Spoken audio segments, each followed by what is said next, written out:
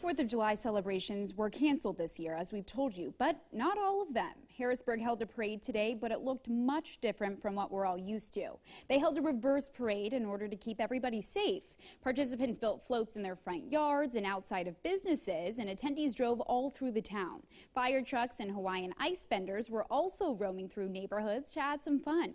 Residents say it was a successful socially distanced celebration. It's a lot smaller this year than it's been because we try to keep it down. Usually we have maybe 50 people. This year we have 10. Some might not be too happy, but you know, uh, it's just the way it is. And even though the parade went on, their fireworks show was canceled, but they say the 2021 Independence Day celebration will be two days long with the biggest fireworks show ever.